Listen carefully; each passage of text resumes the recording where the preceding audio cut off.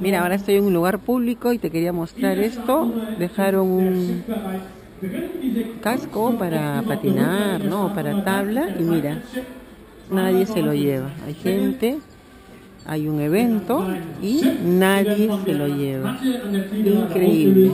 Acá ya hubieran venido con una bolsa y se lo hubieran llevado al momento. Es un sitio donde hay un evento ahora de deportes y ahí está. Nadie lo toca. Increíble. Compártelo para que vean cómo es la cultura alemana. Oh, fíjense.